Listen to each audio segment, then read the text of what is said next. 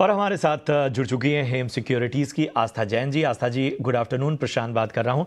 बताइए, आज आपको क्या पसंद आ रहा है? Good afternoon Prashant ji. देखिए, पसंद आता है पी आई इंडस्ट्रीज़ खरीदारी करने की सलाह रहेगी चार हज़ार चालीस से लेके इकतालीस सौ के टारगेट्स के लिए। कंपनी की अगर हम बात करें पी आई इंडस्ट्रीज़ की तो बेसिकली एक एग्रो साइज़ कंपनी है और कंपनी के पीछे पॉजिटिव होने के कारण के कुछ एक कारण है।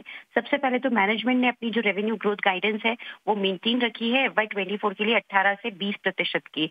तो इस तरह की बढ़िया रेवेन्यू गाइडेंस मैनेजमेंट के द्वारा दी गई है। दूसरी तरफ़ इबिट्टा मार्जिन भी जो चौबीस से पच्चीस परसेंट के बढ़िया इबिट्टा मार्जिन माने जाते हैं। वो भी मैनेजमेंट गाइड कर रहा है कि सस्टेन करेंगे क्योंकि इन्होंने अच्छा खासा एक्सपोर्ट शेयर बढ़ाया है रेवेन्यू में और दूसरी तरफ़ इनके जो प्रोडक्ट मिक्स है वो भी इम्प्रूव हुए हैं। नए प्रोडक्ट्स भी कंपनी ने यहाँ पे कमर्शलाइज करे हैं और साठ ग्रोथ जो हमने देखा है क्वार्टर तीन में आई है एफ़ वाई के, उसमें से मेजरली नए प्रोडक्ट की वजह से आई है क्योंकि ये जो प्रोडक्ट्स है ये मॉलिक्यूल्स नए इनोवेटिव मॉलिक्यूल है और उनका कंटिन्यूसली कंटिन्यूसली उनका एप्लीकेशन यूसेज में बढ़ावा हो रहा है। कंपनी यहाँ पे छह से आठ सौ करोड़ हर साल केपिक्स पे भी करेगी कस्टम सिंथेसिस बिज़नेस के लिए।